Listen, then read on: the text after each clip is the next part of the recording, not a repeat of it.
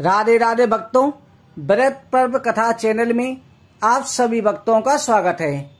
भक्तों, मेणक मेणकी और गणेश जी की कहानी सुना रहे हैं। इस कहानी को सुनने से सभी संकट दूर होते हैं।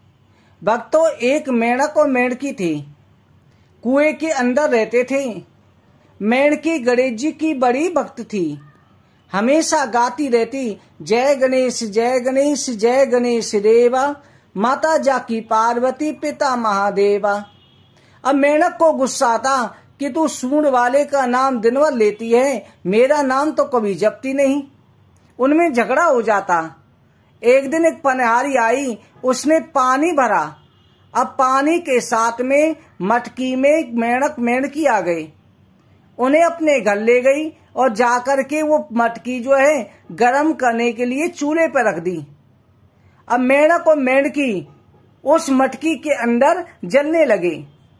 अब मेढकी ने गाना शुरू कर दिया, जय गणेश जय गणेश जय गणेश देवा, माता जाकी पार्वती, पिता महादेवा। मेढक कहने लगा कि मेढकी में जल रहा हूँ। मेढकी ने कहा, मैं तो नहीं जल रही। अच्छा तो तुम मेरी जगह आ जाओ।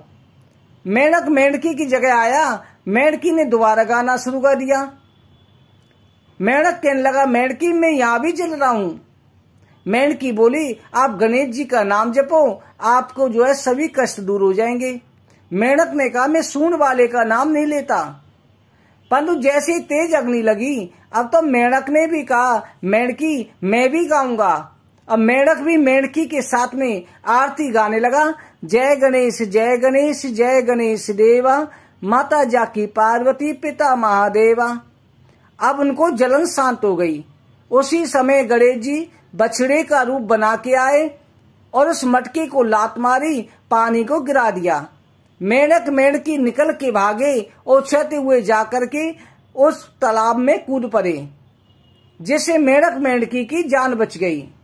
इस तरह से भक्तों गणेश जी पर जो विश्वास करते हैं गणेश जी अपने भक्तों की अवश्य रक्षा करते हैं। जैसे मेढक मेढकी की रक्षा करी, वैसे कहानी कहने सुनने वालों की करें। बोलो गणपति जानन भगवान की जय।